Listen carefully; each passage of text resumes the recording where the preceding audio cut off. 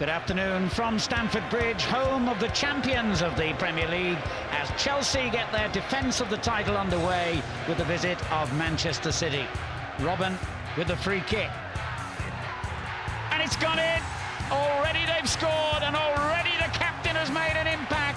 Just 11 minutes into the new season, the ever dangerous John Terry and the champions are back in business already. Essien. Clever. Lampard.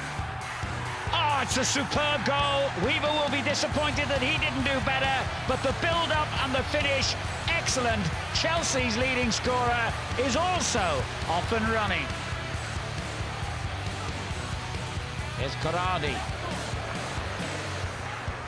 Oops, the referee won't like that. There might be a yellow card produced here.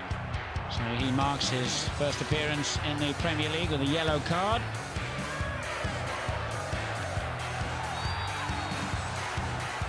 Mourinho on his feet here, unhappy, and it's a red card! A red card for Corradi. Well, what a disaster now for Manchester City. 2-0 down, down to 10 men.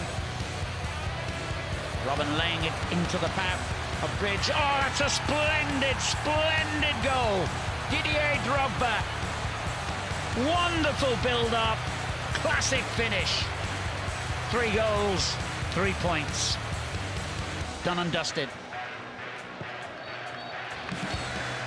They're back to work, and it's business as normal for Chelsea, the champions. A game that right from the start, Chelsea always looked like winning, and they've done so by three goals to nil here.